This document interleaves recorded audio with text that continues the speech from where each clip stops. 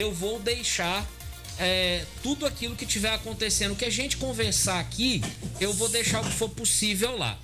É, Leandra, boa noite. E qual que é o seu Instagram para o pessoal já também quiser acompanhar ou o Instagram do projeto? Boa noite. É Jovem Politicando. Jovem Politicando. Arroba Jovem Politicando. Arroba Jovem Politicando. Então, galera, a, anota aí, ó. Arroba Jovem Politicando. Isso. Algumas coisas que ela for postar, ela vai marcar também o arroba Braço PJR.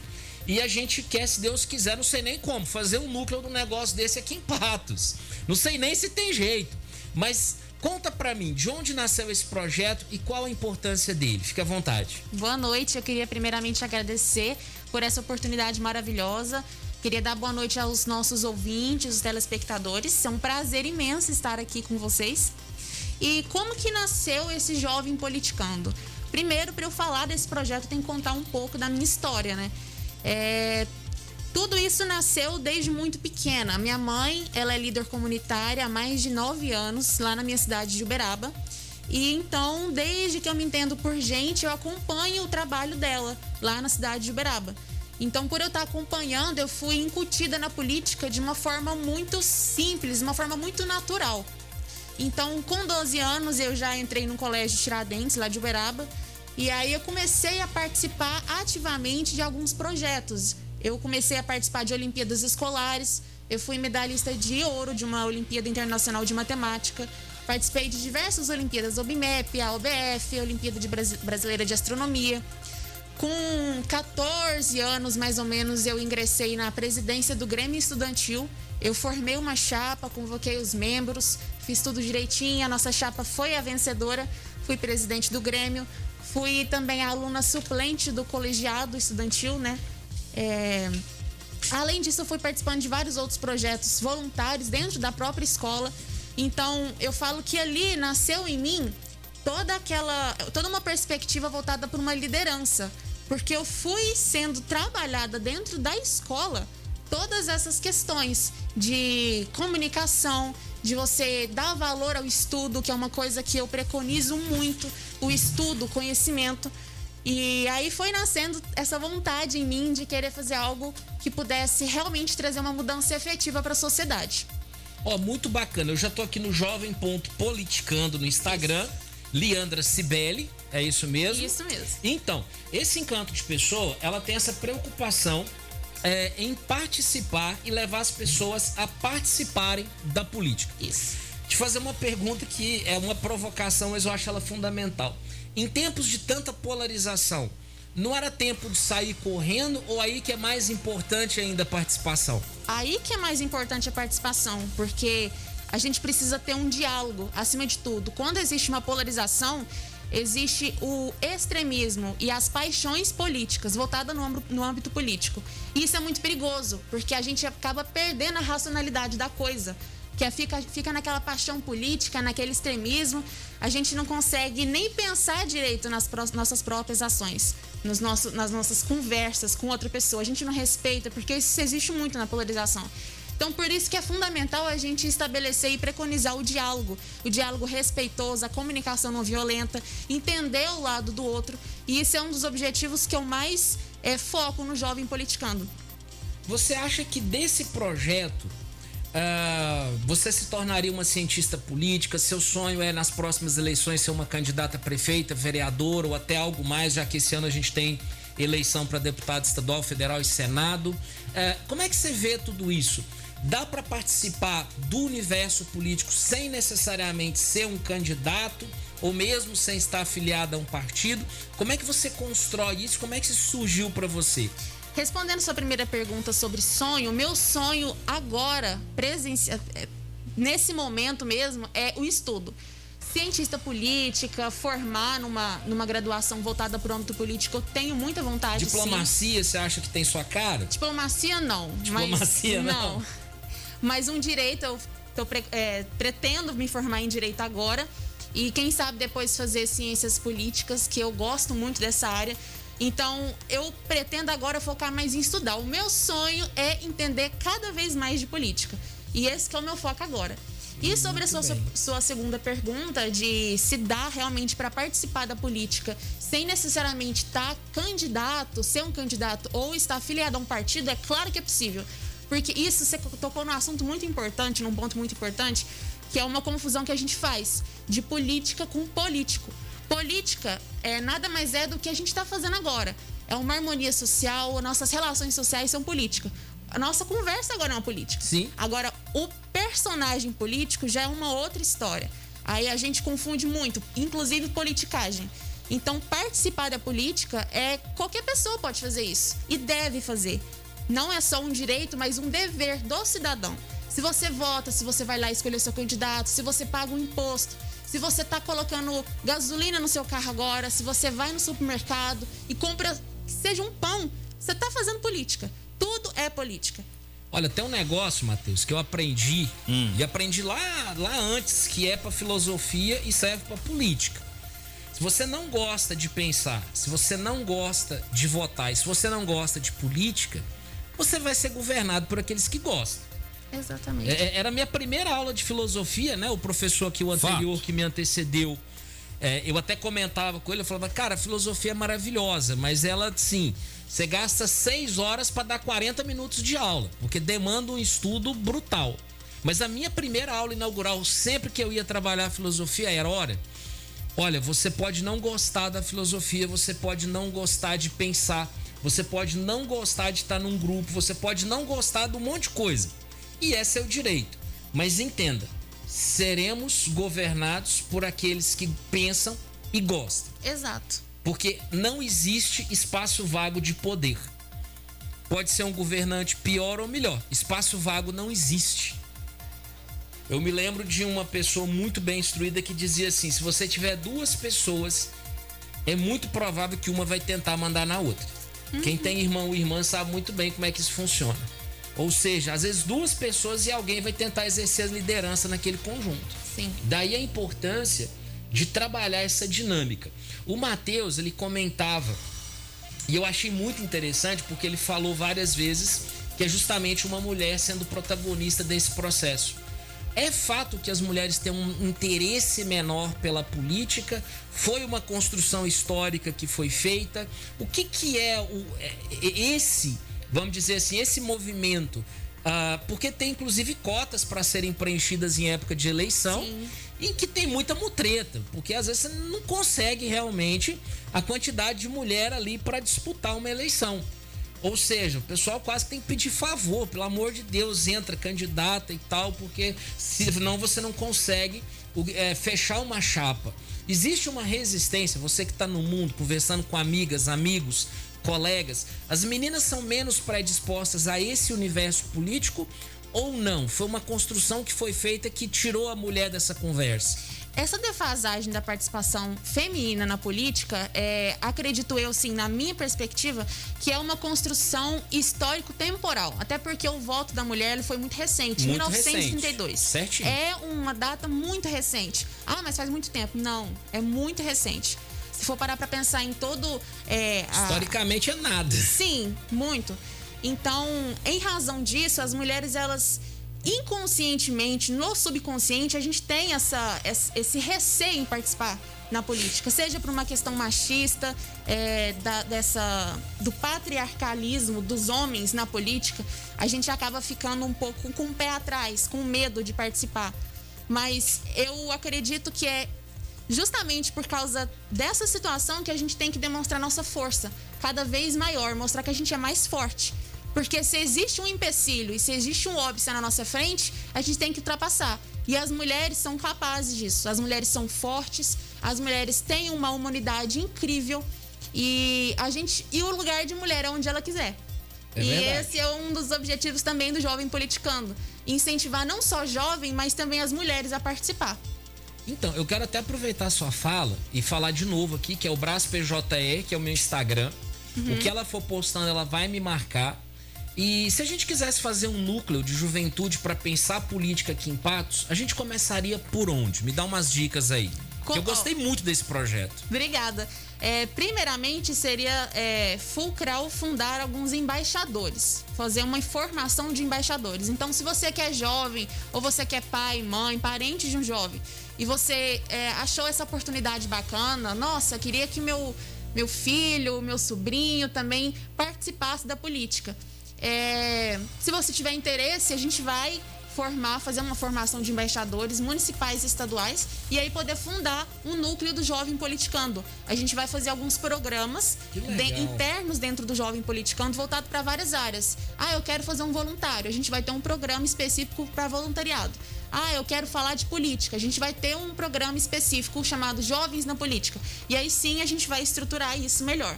Só que uma coisa que eu queria ressaltar é que Jovem Politicando ele é um projeto embrionário. E como eu tô sozinha nele, eu tô fazendo tudo muito sozinha, é, tá sendo um pouco mais complicado de estruturar ele das formas mais minuciosas. Então vai levar um tempo ainda é, para acabar de estruturar ele, de fazer esse planejamento certeiro. E, mas esse é um sonho meu, poder fundar o Jovem Politicando em outras cidades para de fato impactar essa participação ativa dos jovens. Inclusive, é, eu queria só terminar de contar um pouco da história para realmente mostrar o porquê do Jovem Politicando. No ano passado, com 17 anos, eu fui participando de cada vez mais projetos sociais. O Politize, eu fui multiplicadora, agora sou embaixadora. Eu participei de uma conferência da ONU chamada CW Moon, que ela foca na comunicação, na negociação, então ela me ajudou muito nisso.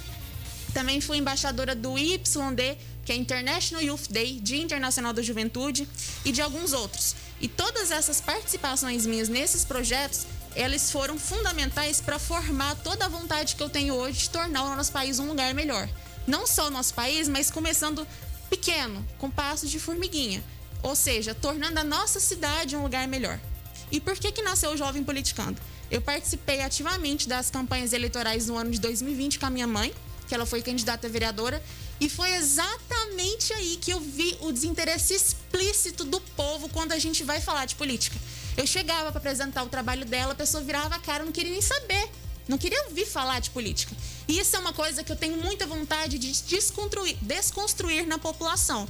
Desmistificar essa visão, esse estereótipo de que política não se fala, política não se discute e que política é algo ruim. Não é ruim. As pessoas que nós colocamos lá dentro acabam tornando a política algo ruim. Mas política não é de fato. Politicagem, sim. Então, daí que nasceu o Jovem Politicando. Eu fiz um vídeo, inclusive, durante a, a campanha eleitoral, chamada Culpa é Sua. Está disponível no YouTube. E, e esse vídeo que eu fiz está disponibilizado lá no YouTube. E ele fala sobre a nossa, nossa, essa nossa necessidade. Só um minutinho, agora. E qual, qual que é o seu canal no YouTube? Vamos, vamos orientando o pessoal. Como é que ele chega lá no, no seu YouTube? É Jovem Politicando também, o mesmo nome. Tudo Jovem Politicando no Instagram, no Facebook. é, isso é estratégia de comunicação, viu, professor Braz? Não, mas claro. É, é, mas é estratégia. Tudo com o mesmo nome é, aparece, na, aparece com mais facilidade nas buscas do Google. Isso. Com certeza. Mas aí continua, perdão. Não, que Vai lá. Isso. Aí eu fiz esse vídeo e comecei a postar alguns vídeos no Instagram falando de política. Então, o projeto inicial foi, foi fundado com o objetivo da gente discutir política e agora ele está tomando forma de forma efetiva. Então, qual que é o objetivo do Jovem Politicando? É propor um diálogo aberto, um diálogo saudável, a gente entender política, propor uma formação de política para os jovens e para a sociedade em si. Incentivar a participação dos jovens, mas de que forma? Através de um debate, de uma conversa, de, de realmente dessa formação, a gente entender qual é a função do legislativo, o que, que faz um vereador. Gente, pelo amor de Deus, isso eu vejo muito. Vereador não constrói nada, Vereador não pode prometer nada, vereador legisla. Ou seja, ele propõe lei, ele faz lei. E, legis, e vereador, ele fiscaliza o executivo. Então, se um vereador chegar para você, um candidato, falar: olha, eu vou colocar aqui na sua rua um postinho de saúde. Você tem que desacreditar disso, porque esse não é o papel de um vereador. E é o que de fato muito acontece hoje em dia. As pessoas, elas é, utilizam é, meio que usam uma venda, tapam os olhos, não querem saber de política e por isso são enganadas. Ainda mais na hora do voto, que é tão importante. Aí por isso que nasceu o Jovem Politicando. E Aí, o professor bacana, Matheus? Muito bacana, eu achei muito interessante. Ó, já, já escrevi no canal dela aqui adiantou. e depois eu já quero ver se a gente tem autorização para postar algum vídeo seu também no meu canal. Perfeito. que é o Brás Paulo no YouTube. Cara, eu tô muito interessado nessa parceria. Eu porque, vou cara, reproduzir aqui. A gente precisa, só para fechar, uhum. de juventude conectada na política. Indiferente, entendam isso, do seu posicionamento. Exato. Porque se a gente não tem uma base minimamente, a gente não consegue nem discutir. Porque o que nós temos visto ultimamente, Matheus, é muita discussão, mas é o pessoal querendo ganhar no grito. Mas com base realmente referência, é pouca gente. Fica à vontade, desculpa por te interromper. Ah, sem problema, professor. E aí, eu gostaria de. Eu vou aproveitar e vou parafasear o Vale Pereira. Quero aproveitar o ensejo do senhor e dizer que, infelizmente, é, você está entrando num, num recinto que é dominado por pessoas mais velhas. Eu vejo isso com muita clareza que o jovem, principalmente no interior, existe uma uh, existe uma como que eu posso afirmar? Existe uma, uma barreira muito grande de políticos mais antigos de deixarem que o jovem possa entrar naquele, seja naquele determinado grupo, seja no, num partido que já está mais fortalecido. Infelizmente isso acontece. Eu percebo isso com muita frequência. E quando o jovem ele tem abertura em determinado setor, ele entra com tudo é, e dá o máximo de si. Eu sou apaixonado com rádio, então eu me dou o máximo que eu posso porque eu adoro o que eu faço aqui é, a interação, cobrar da prefeitura estrada, é fazer o ouvinte, ah, tá faltando médico, a gente cobrar e botar o médico lá. Então, eu, eu sinto né, é, é, nessa comunicação com o rádio o poder de ajudar. Então, esse poder de ajudar é muito importante. E jovem tem essa característica, entra com tudo. E quando não é bem recebido, ah, mas é fogo de paia. É, o meu foco de paia ainda não acabou, ainda tá alto. E eu gosto muito de rádio. Então, nesse caso, você é apaixonada muito com política, saiba que existem muitas barreiras, porque infelizmente essa é a condição. Ah, o jovem ingressa, ingressar na política, principalmente interior, a situação fica bem mais complicada, porque as barreiras certeza. são muitas. E como o professor Bras Paulo, e o professor Bras Paulo, ele tem essa abertura muito grande com os jovens, porque além de ser um professor e trabalhar no ensino médio, e também já ter passado por grupos, eh, ele é palestrante. É, como vocês são de Uberaba, eu estou mais ou menos descrevendo a pessoa do braço. Ele é palestrante de encontros de jovens. Então, ou seja, ele tem esse contato com um jovem muito grande. Ele tem muito mais propriedade para falar de jovem do que eu. E o professor Brás Paulo, ele sempre teve esse contato direto ah, de tentar fazer com que esses políticos mais antigos possam entender a importância do jovem inserido na política. Tanto é que o, assessor do Brás, era, eh, os assessores do Brás eram na Câmara, na sua maioria eram jovens. Sim. E o Brás continua fazendo, continua fazendo esse trabalho e tem essa ligação muito forte com os jovens. Então, ele sabe muito, muito melhor, ele consegue muito melhor descrever isso e a importância do jovem na política do que esse que está falando, que sou eu. eu vou rodar aqui então uh, o áudio para você que está nos, você que tá nos assistindo. Você vai continuar nos assistindo. Para você que está nos ouvindo, você vai continuar nos ouvindo, mas vai ouvir o áudio do vídeo da Leandra Cibele. A culpa é sua. A culpa é sua. Sim, a culpa é sua. Sim, eu tenho certeza. Você é o culpado. Pois bem, meu nome é Leandra Cibele, eu tenho 17 anos e esse ano vai ser o meu primeiro voto. Mas o que uma garota com 17 anos pode opinar sobre política? Eu posso afirmar que você e a maioria das pessoas detestam política. Mas por que você detesta política? Porque você não se sente representado. Porque você diz que a maioria é ladrão. Mas é você que elege as mesmas pessoas que não te representam, que não te trazem segurança e que não cuidam da sua saúde. Mas por que você faz isso? A resposta é simples: porque você detesta política. Mas quando você não gosta de política, você vota nos mesmos. E as pessoas de bem que poderiam fazer a diferença se esbarram no paredão da velha e corrupta política. Não espere que o político mude. Ele não vai mudar. Você é que precisa colocar pessoas novas que vão mudar a política. E para tudo isso, tem solução? Sim. Acompanhe o próximo vídeo. E aí vem o próximo vídeo da Leandra. O, o professor Bras Paulo, existe a importância ah, de se ter jovens na política exatamente por isso. Ideias novas, ah, mas existe e é necessária também a importância de que o jovem possa aprender com a experiência. Sim. Porque a experiência, ela evita os erros. E por mais que a gente possa criticar a velha política, e aí é até o uh, encaminhando essa fala para Leandra também, a gente não pode é, fazer com que haja uma, haja uma união de todos. Ah, tudo é farinha do mesmo saco.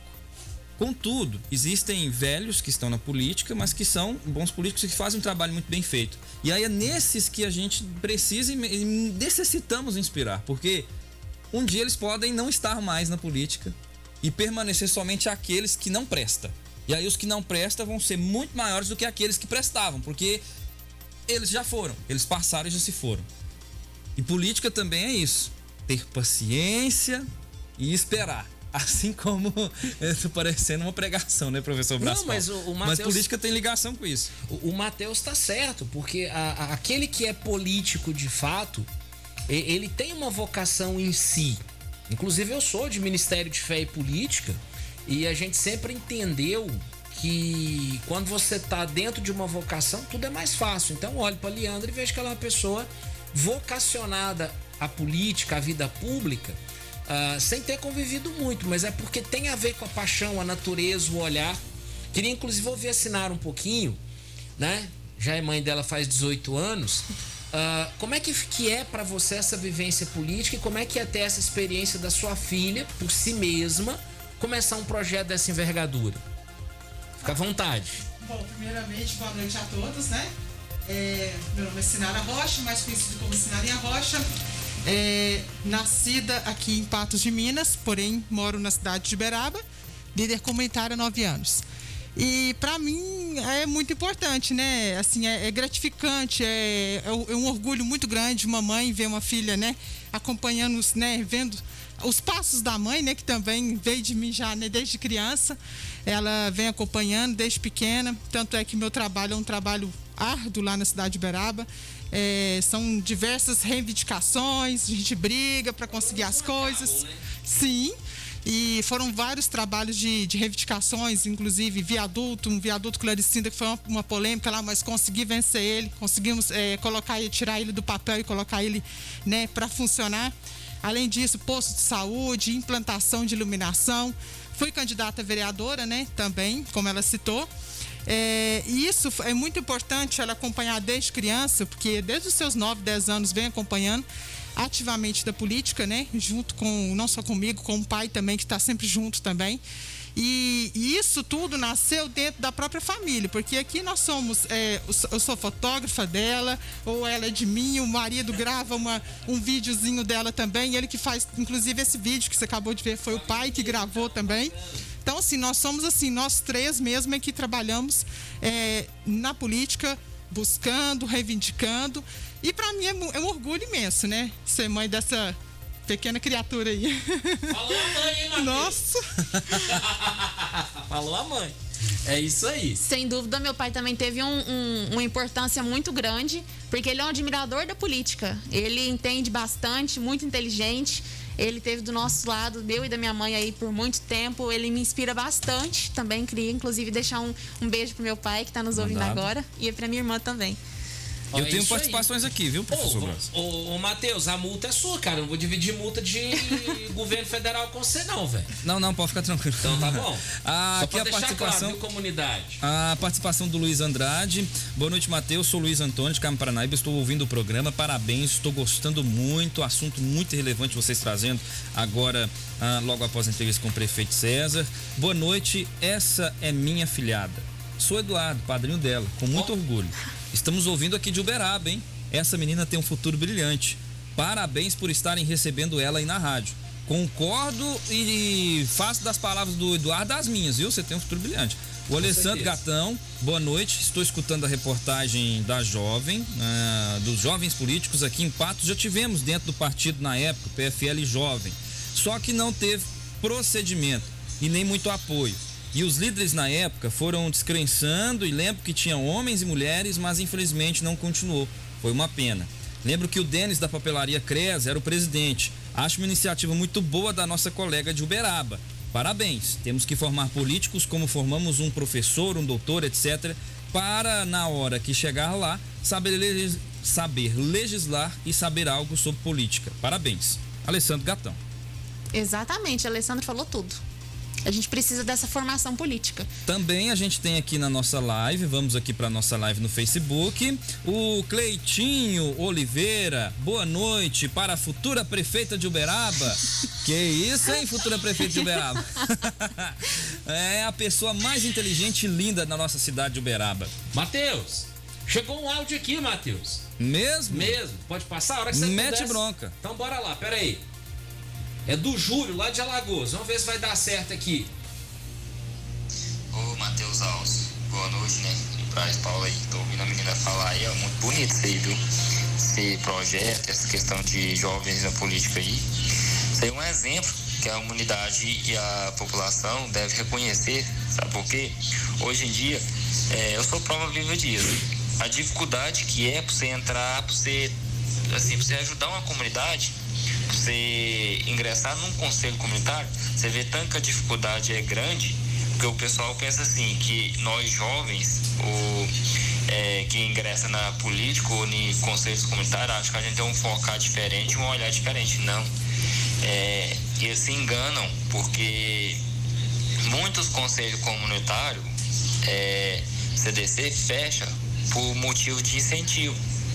É, pessoas mais de, não descartando, mas pessoas mais de idade, a dificuldade dela tocar um conselho e o ânimo de trabalhar é diferente.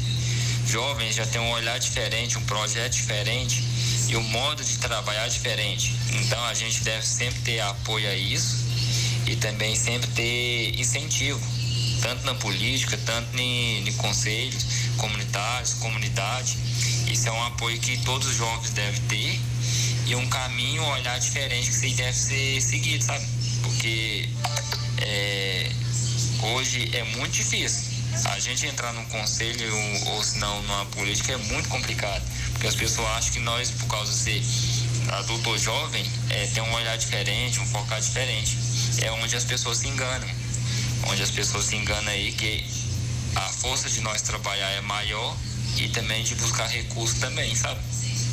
O, o Júlio é um exemplo real que nós acompanhamos. Nós vimos ele crescer diante aqui da rádio, né, Matheus? Justamente, Brasil. Ele foi, correu e tá correndo atrás, Não, e apanhou esse menino, né?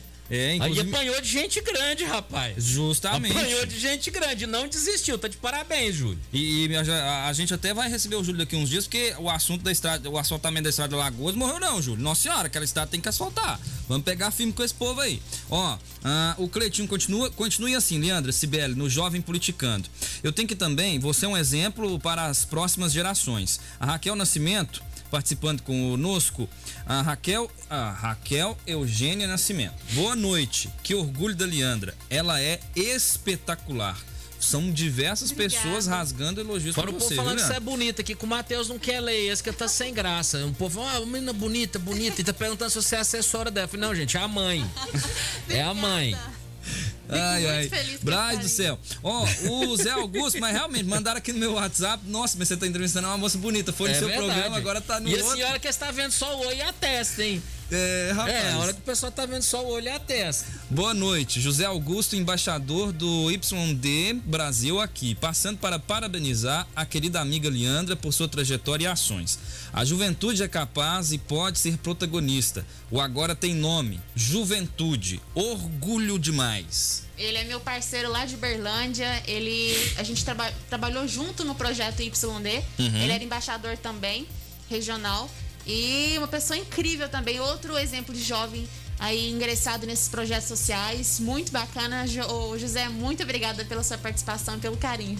E, a sua abertura? A abertura para você falar de política na, na imprensa da cidade de Uberaba. Você tem essa abertura ou não? Olha, é bem complicado de falar Ah. de política e imprensa. Por quê? Justamente porque existe essa, esse receio do partidarismo. De você falar algo é, com uma questão partidária, uma ideologia fixa. Uhum. Falar de política não necessariamente precisa estar ligado intrinsecamente com uma ideologia. Uhum. Então, essa é a principal questão que eu levanto. A gente precisa discutir política sem focar muito, nossa, no que, que você defende, se é de esquerda, se é de direita. Caramba, a gente não precisa focar tanto nisso. O que vai levar a nossa cidade cada vez mais para frente, desenvolver cada vez mais, é a participação popular. Por quê? A política é o cerne de toda, todo o desenvolvimento social. Uhum. Então, se a gente escolhe as pessoas certas e consegue é, todo, todo esse manejo político lá dentro, é, a nossa cidade vai crescer cada vez mais. Por isso que é tão importante esse debate político da população e principalmente dos jovens. É isso aí, muito bacana. Gente, eu queria lembrar vocês, esse ano é ano de eleição. Eu ainda tô meio por fora, mas eu acho que ainda dá tempo de fazer título de eleitor, essas coisas. Sim, até maio. E assim, o pessoal que vai fazer 16 anos, que já tem 16 anos, eu via com uma tristeza, tinha pessoas que falavam assim: eu não vou votar porque eu não sou obrigado, então não vou participar dessa, e falavam um palavrão daqueles assim, bem pesados. E essa pessoa não entendeu que ela tá deixando de exercer um dos direitos mais importantes e que custou a vida de muita gente, que é o direito de poder votar e viver numa democracia. Às vezes as pessoas estão se perdendo em debates menores, uhum. com todo respeito, e a pessoa não busca esse direito tão simples, que é esse direito de poder votar, de poder ir lá na urna e escolher um candidato seu. E quantas vezes que eu já tive oportunidade na urna e alguém falava assim: ah, mas esse candidato seu não tem chance. Eu dizia: é o meu candidato.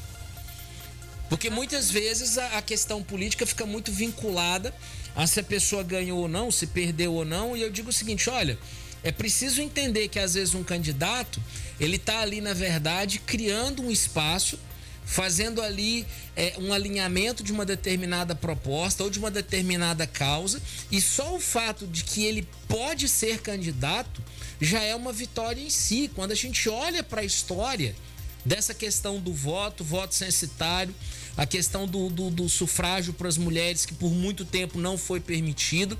Então, assim, a democracia avança no voto. E tudo que é diferente do voto, me desculpem, eu sou contra. Perfeito. É, é, tudo que você falou agora dessa importância do voto, dessa, da, da, dessa linha histórico-temporal que eu te falei também sobre é, a participação das mulheres na, nesse direito, nesse dever cidadão, quando a pessoa entende isso, a gente vai ver a importância que é a gente realmente exercer esse, esse dever como cidadão. Poxa, a gente custou conseguir, principalmente agora no caso das mulheres, a gente custou conseguir esse direito. Agora que a gente conseguiu, é, com suor, sangue derramado, agora que a gente conseguiu esse direito, a gente não vai exercer. A gente tem que honrar principalmente as pessoas que lutaram para isso. E por isso que é tão importante a gente estudar, tão importante a gente conhecer. Eu, eu, eu não tenho autoridade nenhuma no assunto para falar de política, porque eu estou estudando ainda. Eu estou estudando, quero aprender cada vez mais, mas o pouco que eu sei, eu gosto de compartilhar. Inclusive em Uberaba eu fui, é, eu fui hum. convidada pela Secretaria Municipal de Educação para ministrar uhum. um mini curso de política para os grêmios estudantis lá da cidade. Então, no período de dois meses, eu conversei com eles, foram jovens, é, jovens e crianças, até 12, 14 anos. Uhum. A gente conversou, a gente aprendeu juntos formas de Estado, república, é, oligarquia, o que, que um vereador faz, os três poderes. Então, são assuntos muito importantes que a gente precisa. Na verdade, a gente deve saber, uhum. é uma uhum. obrigação de qualquer pessoa saber uhum. quais são os três poderes. Tem pessoa adulto que não sabe qual é a função de um, de um presidente, de um prefeito. Então, é, o pouquinho que eu sabia, um pouquinho que eu sei, eu compartilhei esse meu conhecimento com esses jovens. E foi muito bacana ver a participação deles, que eles se sentiram motivados, uhum. eles se sentiram representados. Então, uhum. para mim, já valeu demais. Bacana. É bacana, Matheus. Eu tô muito empolgado. Acho que depois, futuramente, a gente pode fazer uma linha direta. Quem sabe dentro da possibilidade da Leandro, uma vez a cada 15 dias, 20 dias, uhum. ter uma participação. A gente sabe que dá para fazer remoto. Porque assim, esse programa de tudo é, um pouco, eu, eu se tem uma coisa ela. que tem muito, né? Então, por favor, aceita. Ah, é justamente trazer assuntos ah, que muitas vezes não estão na pauta de ninguém e de uhum. repente a pessoa, sabe, ela se descobre, fala, poxa, mas esse assunto é importante. Uhum. É relevante falar disso.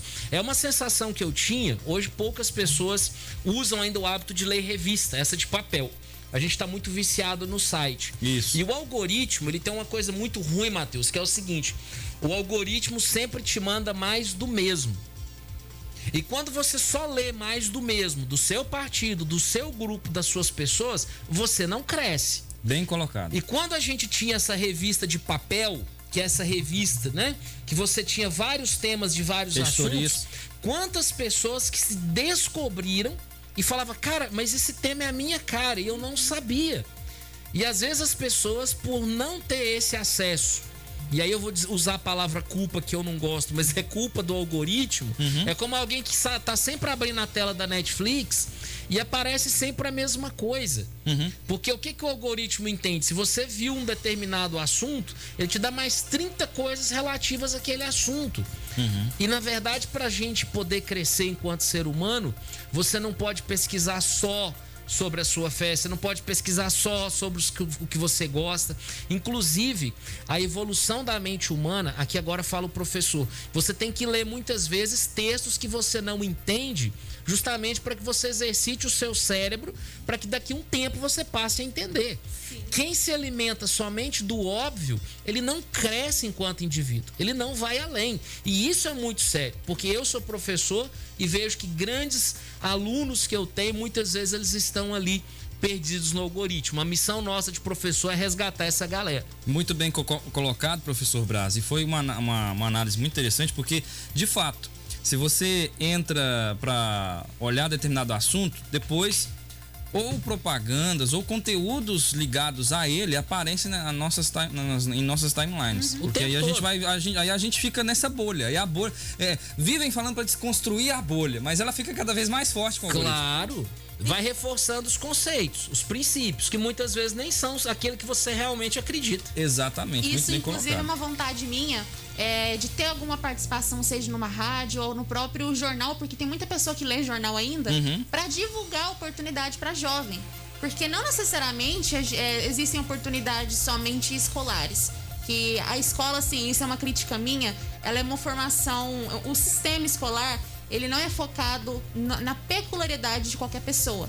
Então, alguns, algumas oportunidades, como ah, um concurso de poesia, às vezes uma pessoa ela tem uma no cerne dela algo muito poético, ela é, é disponível para o lado artístico, ou uma Olimpíada escolar voltada para algum conhecimento específico, matemática.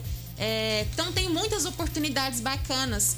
E o jovem, às vezes, dependendo do, do tipo de situação que ele está vivendo, né, a situação do jovem, ele acaba não descobrindo essas oportunidades. Ele se sente assim, nossa, o que, que eu posso fazer? Eu vejo pessoas é, lá na frente, assim, é, fazendo tal coisa tão interessante, o que, que eu posso fazer para conseguir? E o jovem consegue, ele pode conseguir também. Você que está nos ouvindo, se você tiver vontade é, de, de- de também conseguir essas oportunidades, também participar mais ativamente, acompanha meu Instagram Jovem Politicano, que eu vou divulgar algumas coisas lá também.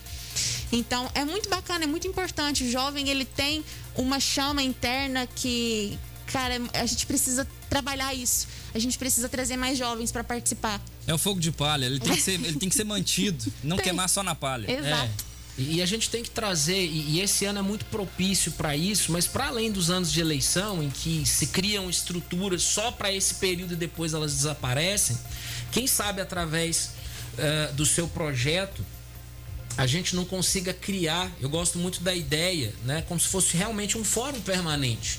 Um espaço onde, mesmo que pessoas estejam saindo, mas outras estejam chegando, porque a juventude, de fato, ela é um período. Ninguém é jovem para sempre.